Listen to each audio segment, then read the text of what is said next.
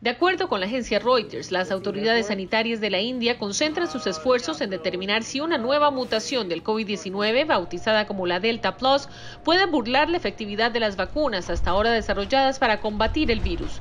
Esta es justamente una de sus mayores preocupaciones, pues la variante podría superar la velocidad de contagio ya alcanzada por la variante anterior, Delta, que por su rápida transmisión se extiende ya a al menos 11 países.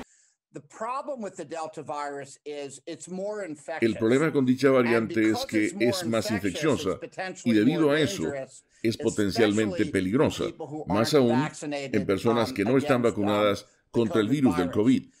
Identificada como la variante del COVID-19 con la más rápida transmisión hasta ahora vista, la Delta podría generar una nueva oleada de casos de coronavirus, comenzando con aquellos no vacunados, muchos de ellos jóvenes. if people who aren't vaccinated Si las personas que no están vacunadas asisten a grandes eventos públicos, corremos el riesgo de un mayor número de casos, especialmente con aquellas variantes que son más transmisibles, como la Delta. Por eso me preocupa. Cifras oficiales recientes indican que menos del 8% de los estadounidenses menores de 18 años han sido inmunizados totalmente, mientras que en el grupo de edad entre 18 a 64 años, apenas 50% de las personas recibieron ya las dosis completas de la vacuna.